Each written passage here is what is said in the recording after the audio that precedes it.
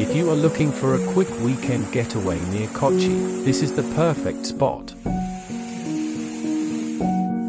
Kochareekal Caves is a hidden gem in the Ernakulam district of Kerala. It's covered in gigantic trees, giving the impression of being in a deep jungle.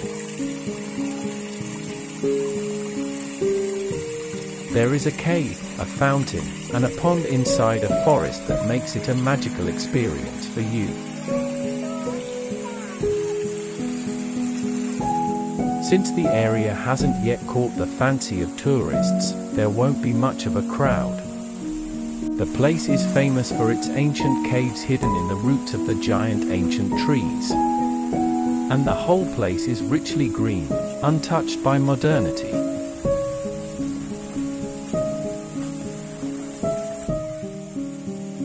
Huge tree roots sustain the caves, and it is large enough to hold up to 20 people.